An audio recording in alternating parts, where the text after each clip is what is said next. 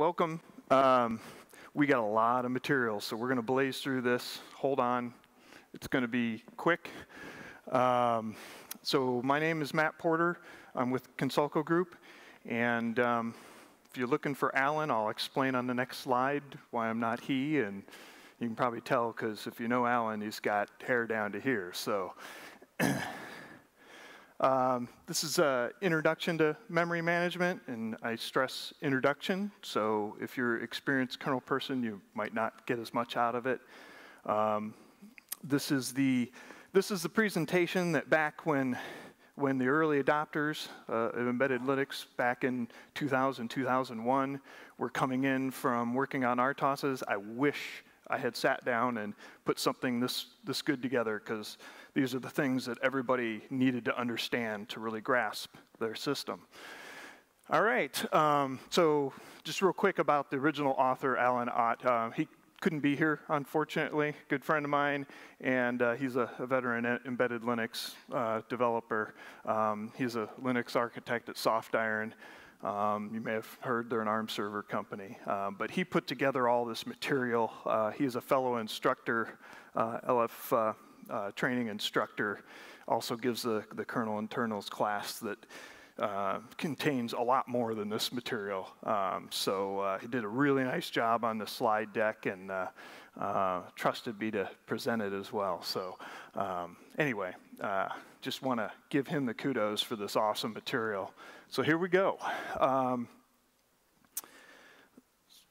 we're going to talk about um, memory management from the beginning and the end, and it's going to be uh, the intro, as I said. So we start at physical memory. Um, if you look at your, your um, low-end systems, they have a single address space, and memory and peripherals are sharing that same space. Um, they're mapped into different parts uh, of that single address space, and um, the, all the processes in OS uh, in, in this type of system uh, share the same memory space. There's no memory protection um, like we, you would often hear about. And we're going to get into all the details of this. Um, and you're running a process in that single address space. Um, processes can stomp on each other because they're all shared in there. You have to separate them manually. Um, and, quote, user space or your user application can stomp on, say, your real-time executive that you're using to schedule. So examples of these would be um, an 8086, uh, Cortex-M part, AVRs, all these low-end microcontrollers in the old um, pre-MMU uh, uh, processors. so let's take a look. Um, so it, it, gives us, I know a lot of us uh, are not working on, on x86, but it serves as a ubiquitous example. Uh, if we look at a 32-bit uh, x86 system, right, um, lots of legacy, obviously, but it is a common ground. Um, we have um, all of these uh, legacy areas and so forth. Um, you have hardware mapped between RAM areas. Um, you can see that uh, your, your, PCI uh, physical uh, PCI area memory mapped I/O is all in the high part. Okay, um, so that gives you an idea physically uh, what x86 looks like. Now, um, what's the limitation with um, the single address space, right? Um, you have portable C programs expect that they kind of own the whole thing right? They don't, they don't know uh, if you're, you're trying to port several C programs into one space, uh, you've got to go set the addresses. Uh, this, this can live here and this can live in this segment so they don't stomp each other. So it's kind of hard to do that. Um, you've got to have special knowledge of your actual platform. Um, you need to know what your total RAM is. Uh, and uh, you need, as I'm saying, you need to separate those processes. You have to do all this work. Um, and there's no protection, right? As we said, rogue programs can stomp all over things. So in comes virtual memory, and this is where things get fun. Um, so what is it, right? Um, this, it's a mapping. It's a virtual mapping, hence the name virtual.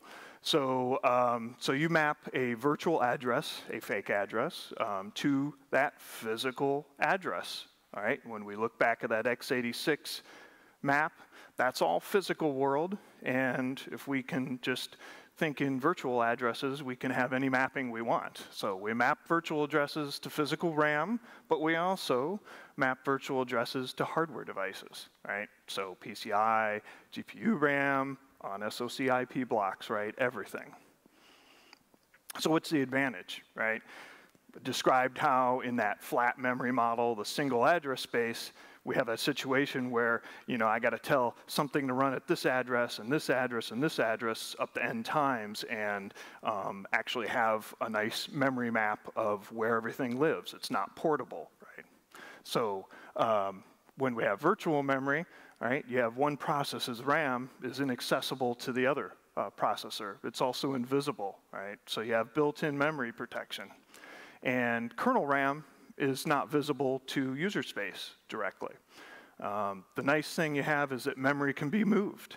Right? So uh, memory can be uh, visible to different processes, but you have to actually um, uh, set up a mapping for that.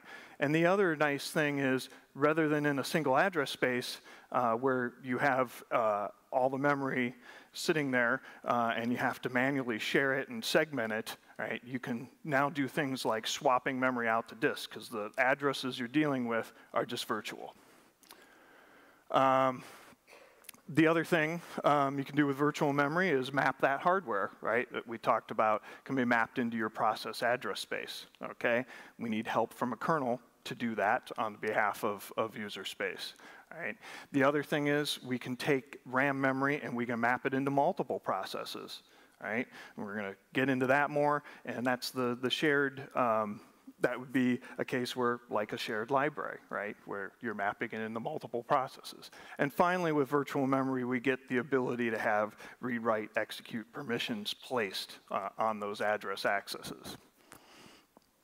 All right, so we have two address spaces now, right? We've got the physical addresses we talked about, and we saw that physical memory map, x86 we use as an example, and that's, you know, DMA, peripherals, whatever it maps out to in your physical world, right?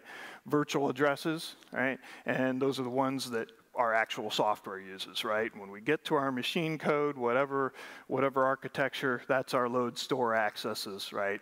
Uh, out to memory, and those are always using virtual addresses. All right, so um, looking at virtual memory, right, we have to do a mapping. This mapping is done in hardware, so there's a piece of hardware that assists with these mappings, okay? Once we have it mapped, there's no penalty for accessing uh, memory that way, right? The permissions are handled without a penalty. Um, so this is all handled in hardware for us, and we're going to talk about what that hardware is that does this. Um, and of course, we use the same CPU instructions, those same load stores, whether it's RAM or uh, um, uh, a piece of um, peripheral I/O.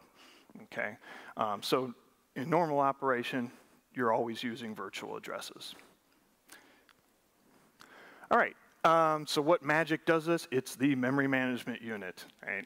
And uh, so an MMU sits between the CPU core uh, and the memory, all right? It's often, in a modern architecture, part of the physical CPU itself. If you look and like retro things, you'll find that MMUs were used to be a separate, discrete part, right? And were interfaced and were part of that set um, uh, sold just like, say, a PMIC uh, is often a, um, an integral, separate, discrete um, piece of a, of a um, architecture. Uh, so um, the one thing to keep in mind is that the RAM controller uh, is a separate piece. So you got an MMU, the DDR controller is going to be a separate IP block, tightly coupled though. Uh, and what does an MMU do, right? Um, what it does is it just does that magic of transparently handling uh, the translation of those load store uh, instructions into physical uh, addresses. Okay, so we map the memory accesses, the virtual uh, addresses to our system RAM, that physical address space we talked about, right? Same thing with peripheral hardware. It's no different from its point of view, right? It handles permissions. You said we got permissions with virtual memory, and if we have an invalid access to something, it's going to generate an exception. And with that exception, we can go do some interesting things. And we'll talk about that in a bit. Okay, how an MMU works. There's an important piece of the MMU called the TLB, translation look aside buffer, okay? And uh, so that's just a uh, hardware buffer um, that has uh, a set of mappings, and those are your virtual to physical mappings. It'll have permissions for that space, okay? And um, there's, a, there's a granularity in which these mappings are kept, and we're going to talk about that uh, in a moment. And um, the, the interesting thing is that you know, TLB design is uh, very architecture specific, very part specific, performance sensitive, and so you'll see a wide variance in how TLBs are designed, um, how um, uh, mappings are placed in, if it's software done or it's hardware assisted, um, that type of thing, and also uh, capabilities, how many uh, slots they have. All right, so this is a quick little diagram of what a system looks like. If you're having trouble visualizing it where it sits, you see the MMU between the memory controller, right, and the CPU. You see that TLB on the side with some entries, okay? All right, so as they're saying with that TLB, the MMU takes a look at that buffer, right? Is there already a mapping in there when it accesses a virtual address? And then it can look that up and if it doesn't, uh, doesn't find one, then it's going to generate the page fault, interrupt the CPU, okay? Now, if the address is in the TLB, but you, let's say you're doing a write access, but it's only set for read permission, it's also going to generate an exception. And that'll come back into play as we get into how we use those things in Linux. So in Linux, a page fault, right? Uh, so you have a, a CPU exception uh, generated, okay? And um, this happens uh, when you access that invalid virtual address. What makes it invalid, right? It's not in the TLB, okay? Um, and you have three cases. So um, first, virtual address just isn't mapped, okay, for the process that's requesting it. Um, second, you don't have the right permissions, right? And third would be that it's a valid virtual address, but it's currently swapped out. Um, and that one's a, a, software condition. So let's dive into, we're going to dive into each of those, but first we're going to get into kernel virtual memory side of things, okay? Um, so we use virtual addresses both in the kernel and user space but the way that we use them, how things are mapped, are quite a bit different. So uh, in the kernel, um, we use them obviously, uh, and um, but we have this split in how we treat our virtual addresses. Um, and uh, the upper part uh, of our of our um, virtual memory map is for the kernel, and the lower part for user space. And usually, when we teach people about this. It's harder to think with 64-bit addresses, so we go back to 32-bit, and uh, we affectionately call uh, the default spot that it's split between user space and kernel space is C bazillion. That's at that 3 gig uh, location. That is a default. Um, so this is what it looks like. So you saw that hugely complex physical memory map of uh, uh, x86 32-bit architecture, and lo and behold, here's the virtual memory map. We've got 3 gig for user space, right? Config page offset controls where that split is set at, right? And so every process gets its own 3 gigabytes in that system. It has that whole view. So you remember to go back to that single address space. If you had multiple processes, you had to go link them in all these different spots and manage your processes very manually. In this world, when we link applications, they all end up at the same place, right? And the kernel just has this one gig in our 32-bit case. Okay, so as we said, um, that config page offset controls that. A lot of architectures, um, if you have specific needs, you might uh, fiddle with that a bit. That sometimes happens in, in embedded stuff. Um, and um, the, uh, um, on 64-bit, we don't have this situation where there's ever a possible need to do that essentially. Um, on ARM64, we're at um, 8 bazillion there. Um, x86 64, the splits at a, at a different location. Um, but, uh, you know, given RAM sizes and so forth, uh, it's effectively uh, something that's, that's not worried about. Uh, in a 32-bit system, um, where that page offset is, is uh, uh, has an effect on how we deal with large memory systems, which we'll talk about in a moment. Um, so uh, there's three kinds of virtual addresses uh, in Linux, and uh, LDD um, uh, defines these these best. You can you can look at that, and um, the way the way we define them are, um, and, and, some people use some different terminology historically, um, but uh, in the kernel side, we have kernel logical addresses, kernel, kernel, virtual addresses, and then we have those user space virtual addresses, okay? Um, there's another special case, but most people don't speak about them exactly that way, um, either physical or bus addresses. Um, but you can look at LDD3, the link was in there um, for a little bit more information. So kernel logical addresses, um, that's the what people consider the normal uh, address space um, that they're normally dealing with. What you get back from kmalloc is a, a kernel logical uh, address, okay? They have a fixed uh, uh offset, okay? And uh, so um, you see a magic number there that's the config page offset value, um, and that would map to that. Now that, that physical address is specific to one architecture. Um, that could be wherever um, your base of uh, RAM is, and it does get more complicated in, in various other segmented me memory systems, but this is an introduction, so we keep it simple. Um, so because this is a very simple mapping, um, logical mapping, the conversion's really easy uh, to do. So visually it looks like this. Your kernel logical addresses are at page offset. Um, point down, assuming your physical RAM in that physical memory map is, starts at zero. Boom, you've got this very simple logical thing. And accordingly, you have a very simple set of macros that can convert when, it, when it's a kernel linear or logical address. Okay, now the next thing that, that's interesting when, when we have a small memory system, right? So we'll, we'll, we'll call them small or large, and this is uh, really uh, specific to our 32-bit example, okay? Um, so less than a gig of RAM. It's technically less than that, really, um, when, when you look at where the split's at.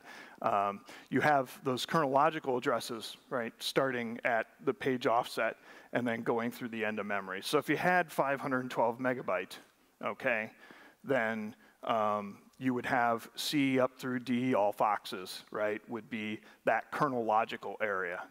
Um, so it's very simple when you have that small amount of memory.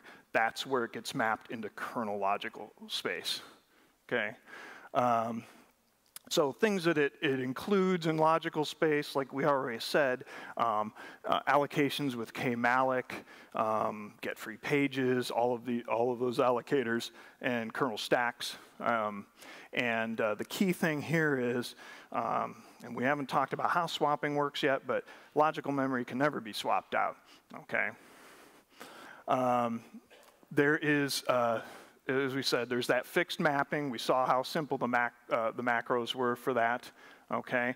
But what's, because of that, all, everything in that kernel logical area, it's all physically contiguous. So that's important because we need that for DMA. So that's, that's why you'll see uh, kmalloc and those, those types of allocations used with DMA-able buffers, okay? Okay, then it gets complicated. If you're on a large memory system, something more than a gig of RAM nominally, right? We run out of space, right? Our page offset was at C, but how are we going to map that all into kernel? We can't, okay? Um, so uh, there is, we, we run out of room there, and then on top of it, we have to have the space for use by vmalloc uh, memory, which is our uh, kernel virtual address range, and we need to keep that. So we're going to talk about that in a moment, okay? Um, once we go above that gig of RAM, nominally it's actually less. Um, then we have stuff uh, uh mapped uh, into the kernel virtual uh, memory area, and so that's the, the high support. Again, note that when we're taking the 32-bit model, we have that problem with 64-bit. We don't really effectively have that problem until we're going to get ginormous amounts of RAM on the system. Doesn't seem like it's going to happen tomorrow in that space, okay? All right, so kernel logical mapping, right? We saw page offset. And then in this large mem system, right, we don't have enough room for that. So the additional RAM is going to be um, uh, uh, mapped separately in that kernel virtual um, area. So you don't have that logical mapping. So those things you can't, you can't use any of those simple macros on them at all. Okay, so how do we call that? Low memory is that directly mapped set, right?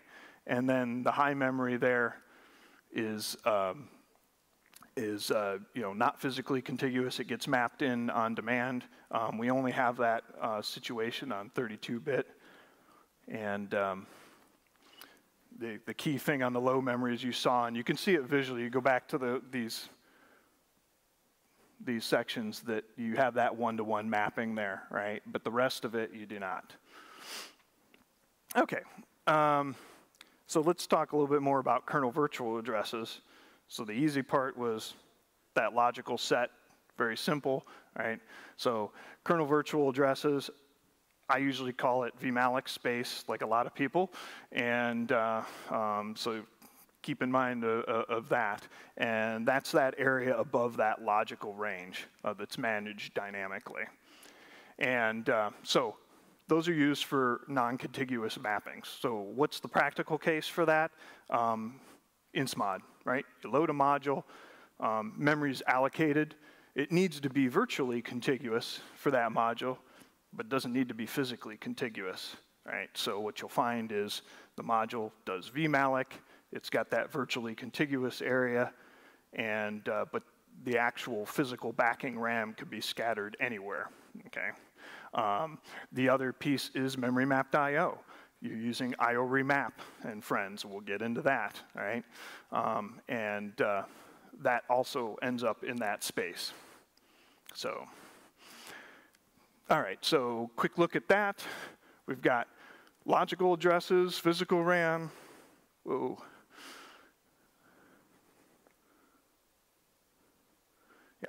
And so that, that's what that looks like. And then you've got your virtual address space up there, right? Your modules are getting installed, your IO remaps, all of that. All right. So keep in mind, as we said, that the key there is it's non-contiguous, right? You can't, can't, can't rely on it for DMA at all. That's the main point here. All right. Let's go over that. Um,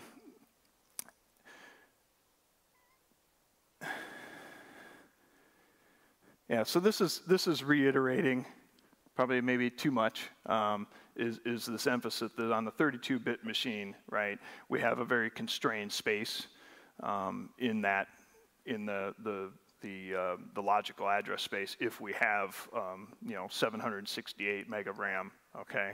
So there's less space for, for kernel virtual addresses. So um, those are tunable, and you just don't deal with this problem on a 64-bit system. All right, so let's jump into the meat of user virtual addresses because this is where it gets more complicated. Um, so our user virtual addresses, right, that's what our applications or our processes are, are, are mapped into. Okay, they're all below page offset. If you remember that memory map we saw below uh, the three gig mark in, in our modeled 32-bit um, uh, system, right? And each process has its own mapping, what I mean by mapping is its own view of virtual address space. Right? A thread shares mappings, and things get a little bit more complicated with clone because there's a lot of options and you can choose how much you're sharing and so forth. Uh, but that's beyond intro level.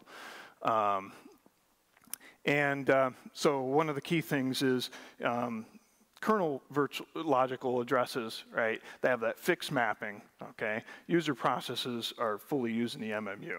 And um, the only time, um, the only time that you actually use RAM is when, when, um, when you're actually touching it. We'll get into that, right? The memory isn't contiguous. It's a lot like that vmalloc space in kernel. You can't rely on anything being contiguous just because it looks that way from the virtual address, right? And um, the nice thing is you can swap out. Remember, kernel logical uh, uh, virtual addresses. It's not swappable memory. And uh, the memory um, can be moved around on you. So that's virtual world. Um, all right, so um, what, what does this fundamentally mean? Since things can be moved around on you, it can be swapped out, you can't use it for DMA, right? You can't, can't allocate, you can't malloc memory and then try to DMA to that virtual address. All right, it's not not going to be a, a stable backing behind it. All right. Now, how does this work? Every process has its own memory map. You can go look at struct.mm, right? There's pointers to that in your task struct for your process, and uh, that's where that whole mapping is kept of those um, um, pages. We'll talk about pages in a moment. Um, every time you do a context switch, that memory map gets changed, and that's where that overhead comes, right? Your context switching overhead, where you have to go change that mapping, okay? Um, so again, back to our map here. Um, we've got this, this view of the 32-bit world, and um, every time we change the process, this whole set of mappings in here into this space is going to change. So back to the MMU, right? Um, so we use that to, to manage those virtual address mappings. And so I already hinted at page. So how does this done? It works on the granularity of a unit called a page, okay? Um, and some architectures, people always hear 4K. Um, some architectures, most architectures, they're configurable. Um, there's um, some advanced features, some very large page types. Um, we're not going to get into that um, today, but here's some common ones, right? 4K, 4K um, or 64K on ARM64. like I say, we're not going to talk about huge pages. That'd be a more advanced topic, but let's just assume 4K for um, this talk, since that's what most, uh, most architectures are defaulting to. So that's our unit of memory that the MMU can work with, right? Um, we're aligned on that page size anytime we do any allocations or mappings, all right? And then we have this concrete concept, which is the page frame okay? And that's page size, page align unit of memory of physical memory. So anytime we say page frame, that means in that physical memory map, okay? And when we talk about a page, that's the unit for virtual addressing purposes that the MMU is dealing with, okay? And so you'll see that abbreviation PFN throughout the memory management code. That's your page frame number, right, referring to that page frame physical unit, Okay, so MMU operates on pages, right? Memory map for a process is going to have this huge list of mappings, right? Big space, a bunch of scattered page frames all over the place, right? A range of multiple pages. And so what does the TLB need to know, right? The TLB, when, when it actually gets loaded with a mapping, right? A virtual address, the physical address, so page, page frame, right? And then a set of permissions, right? Read, write, execute. Back to our view of that, right? Just as a reminder. All right. Um, so as we, were, we, we, we touched on earlier, um, if we ac access a region of memory, right, that we don't have mapped, we're going to get a page fault exception, okay? And this is normal, right? These are good things. We want this page fault exception okay? And I mentioned that TLBs vary in size. You know, some of the embedded stuff, they have 16 entries in it. It's not much when we know that our page size is 4K, right? And so that's got a lot of churn in it, okay? And so when we context switch, we have a lot of page faults as we start touching virtual addresses that aren't mapped, right? So your process gets swapped or context switched in, you start executing code, it's touching, you get page faults, that exception because we don't have a mapping, right? And um, we also have a, a, concept of lazy allocation we'll, we'll, talk about in detail here. Um, all right, so this is what it looks like visually in between. You've got your virtual address, it's hitting the TLB, and then it's able to touch those physical page frames, right, through those mappings that are set up, right? So mapped page ranges, right? So contiguous set, say the text for your uh, application, your process, um, some data area that's mapped, and those are going through the TLB to access actual backing page frames for that area. And then you'll have some on-map space that maybe hasn't been executed yet. Notice that's the, the allocated frames on that side that's going through there.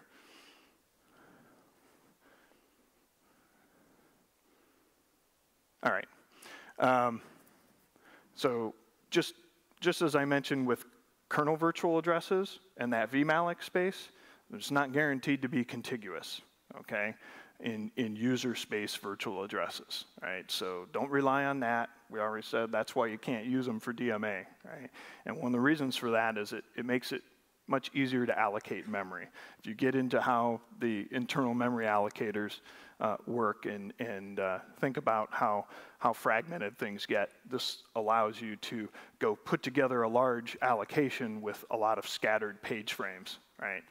And, um, and almost everything you do, it doesn't require physically contiguous um, page frames backing your code. All right. Um, so uh, as, as, we were saying, when we looked at that, that virtual address and, and we said the, the virtual address space, say in 32-bit, in that 3 gig area, we said one of the cool things was that each process gets its own address space. So what does that mean? You hear that all the time. It means that when you look at the virtual address space and say you look at that task struct and that MM, you're going to see mappings that have that same virtual address, but they're pointing to all different physical memory addresses all over the place. So if they're in there at the same, uh, if you have things uh, scheduled uh, running next to each other, they're using the same virtual address, right? They get scheduled in, but it's mapped, right, to a different page frame each time. So, uh, but they don't have to know about that backing. And so here's an example, process one with this set of, of of uh, virtual addresses mapped through all these different page frames, right, in the blue. And then process two's got these same virtual addresses, and he's he's touching completely different page frames, right? Just visually representing that, okay? Um, and now we get into shared memory, right? Uh, we, all, we need to, for IPC purposes, shared memory is a common concept, a POSIX concept. Um, normal concept in most OSs. and, um, and so uh, shared memory using MMU, and we saw how we can have the same virtual address with different page frames, right? We can have different virtual addresses pointing to the same page frames is essentially how shared memory works, right? So simply map the same physical frame to different processes, right? The virtual addresses don't have to be the same and uh, now you have shared memory, right? Two different processes, completely different virtual addresses, but they're touching that same page frame as they get context switched in, okay? And how does that look? We got the shared physical frame down there in green, right? We've got this virtual address mapping to it. It's touching that shared frame, right? This is a 4K shared memory space. And then this completely different virtual mapping and the other process pointing to the same frame. Boom, we've got shared memory. Um, now, um, uh, so that was the case with, with different virtual addresses, okay? Um, the mmap system calling you may be familiar with, right? You can get at a specific um, uh, address um, to share uh, the memory. So um, that's, uh, that's a different case okay? And uh, it, it, can fail. All right, let's talk about lazy allocation. Um, so one of the things you will notice when you uh, work on a Linux system or a classic Unix system is that um, the kernel's not going to allocate uh, memory uh, directly. Well, yeah, you saw your, your call actually come back successfully, right? You got virtual memory, but it didn't actually allocate the physical memory, those page frames that back it, right? And that's what we call lazy allocation.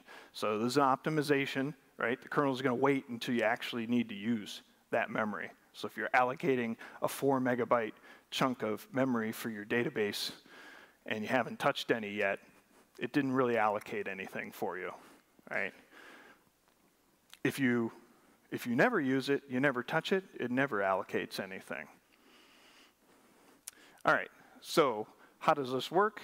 Um, so when we, we request that memory, it just creates this record of the request in the page tables. We'll talk about page tables in a moment. Returns the process, and so you've got that virtual memory set aside in the user space process, okay? Once we touch it, our old friend, the page fault, comes into play, right? We already learned that we're going to get an exception, right? Because there's, there's no mapping there, right? Or it's only set to read permissions, right? And uh, we're going to go do the uh, page fault handler.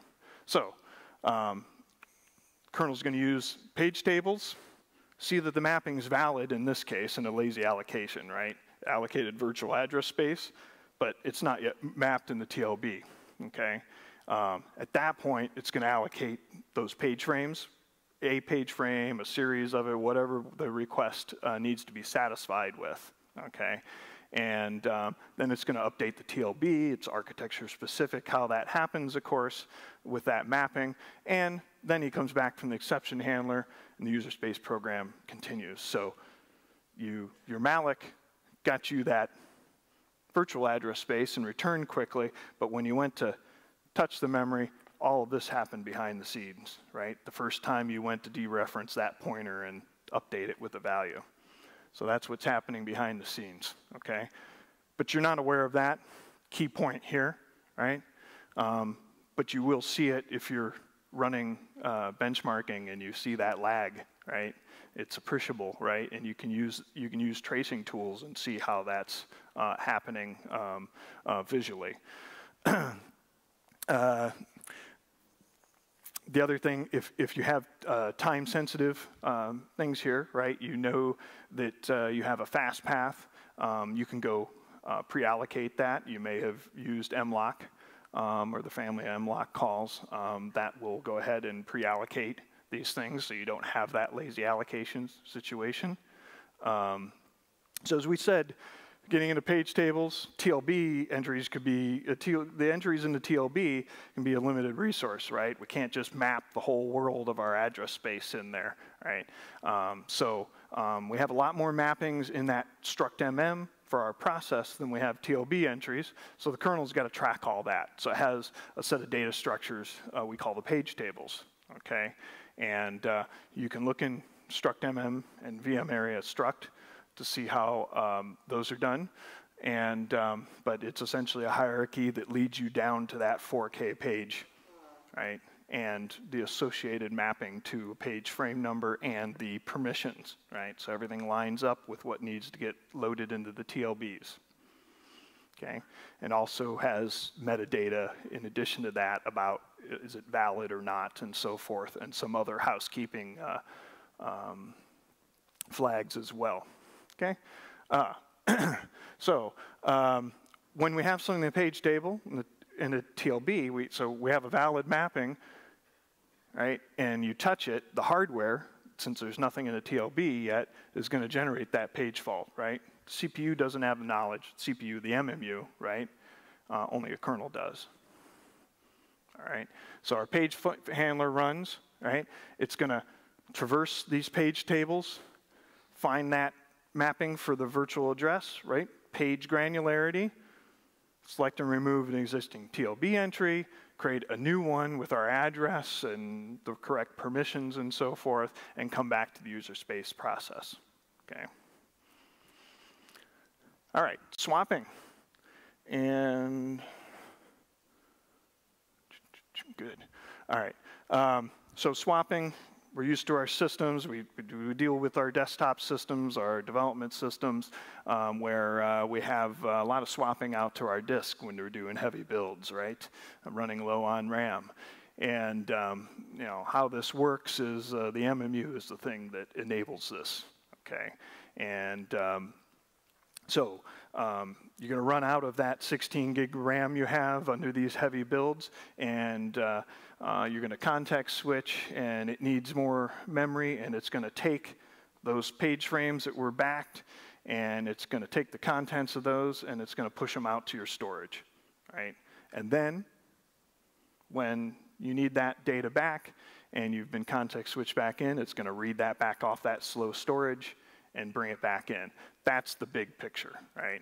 So, low level details, right? It's going to do that on a frame based basis, right? It's going to copy a frame to a disk, remove the TLB entry, and then that frame is free to be uh, backed for another process, right? So when we need it again, right, CPU generates page fault, right? Common theme here, right? We, we, we flush that entry out of the TLB, right? So now it's going to generate a page fault. And then when we, we hit that page fault, process sleeps. We copy that frame from the disk into an unused frame. And we update that page table entry and then wake the process back up. Okay? So it's going to be a slow process, right? We got to go out to that block IO. We're throttled by that bandwidth now. So when we restore the page to RAM, okay, we're not necessarily getting the same page frame. So again, we have this virtual dance going on here, right? Um, there is no persistence or affinity to that original physical page frame. So you need to get rid of this notion that page, you know, physical addresses matter, okay? Um, you will use the same virtual address though, right? Because those mappings stay the same in user space. All right, so you don't know the difference. So your code's executing along, you yield the processor, it gets swapped out, you context switch back in, it could, it'll, it'll redo that, that mapping, same virtual address, and your code continues on at the same virtual address, but a completely different backing as it, the page frame context gets copied back in and then mapped in, okay?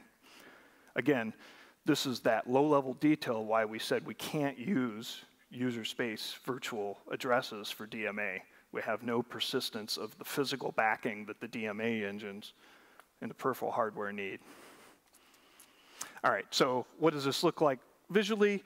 Um, we've got this frame that was selected um, by the kernel to be swapped out to our disk. We've got this wonderful trash can looking cylindrical disk thing here.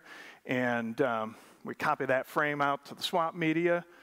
We invalidate the TLB entry.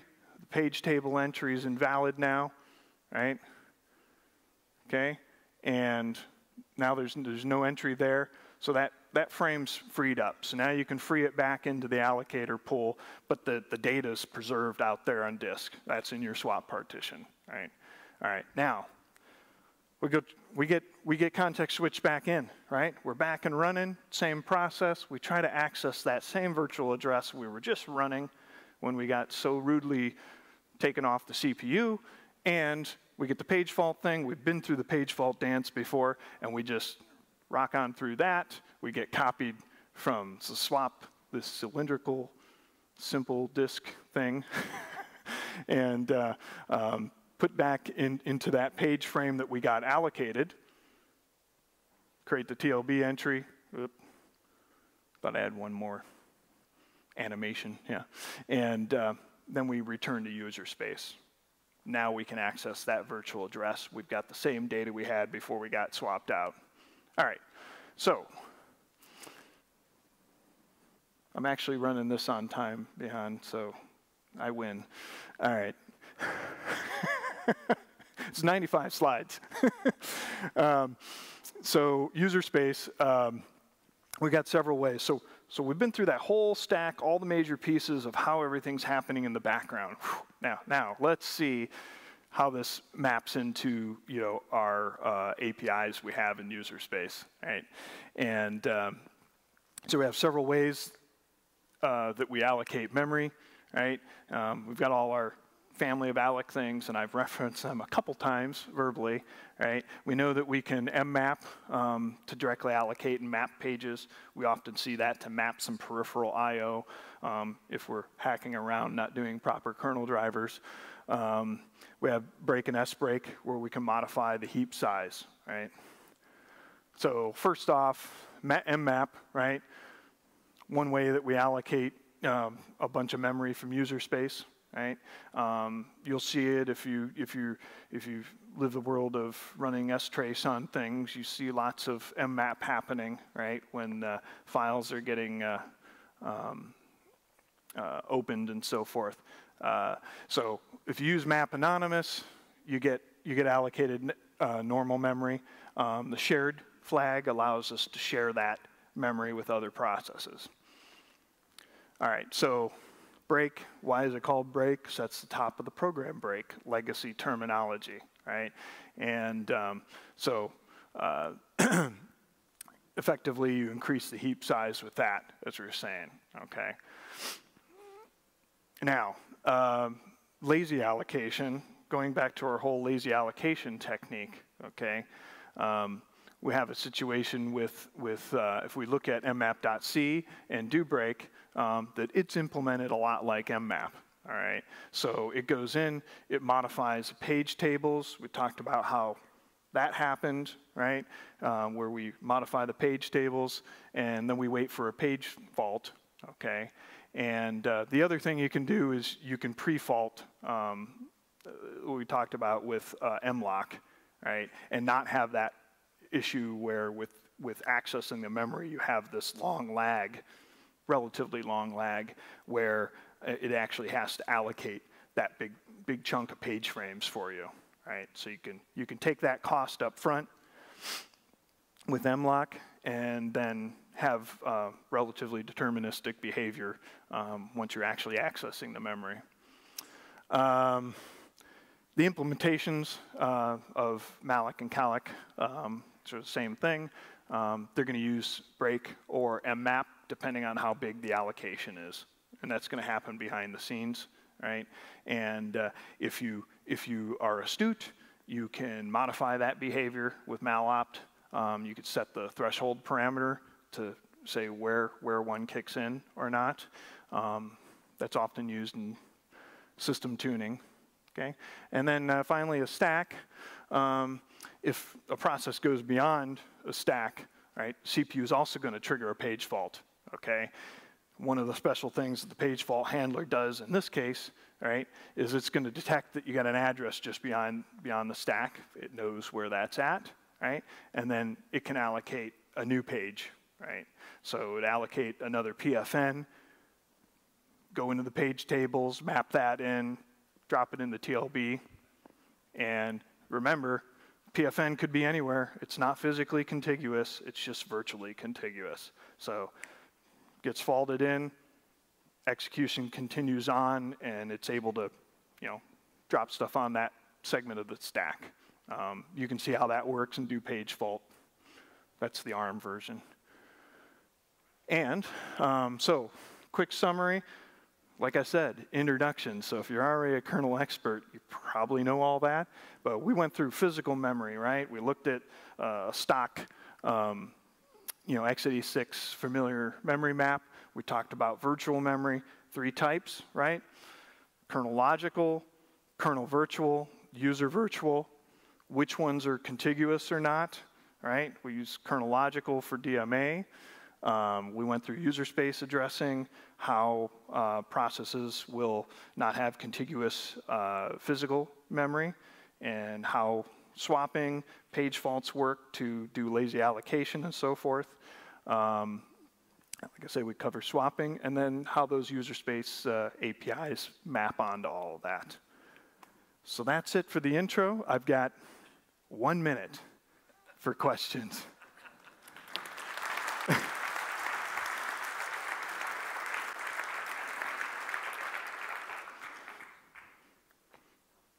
yes, way in the back.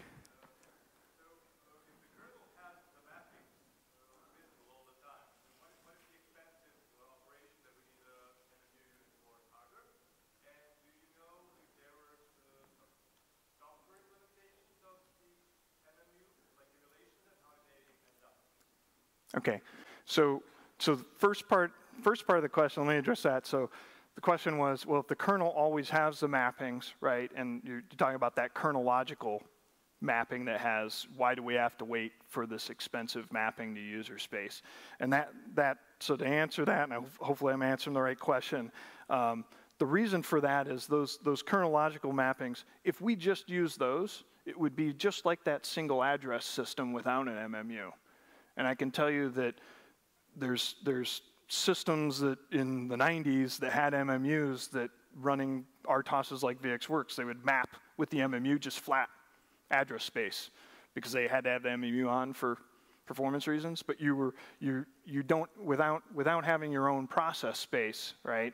You would have to link everything in its own address space and everything. So kernel logical addresses are nice and linear and easy to think about, but uh, you have to do these remapping uh, for user space to have that nice world that we enjoy of that protected per user process address space where you just write a program, link it, and it'll run in any context, right? If we had all one mapping of the kernel logical spaces be just that single address space, you'd have to link your program at zero and one bazillion, two bazillion, and manage them not stomping on each other as you allocated the memory. I hope that answers the first part of it. And I'm out of time, but we can talk about the second one. Yep. Sorry, 95 slides, so.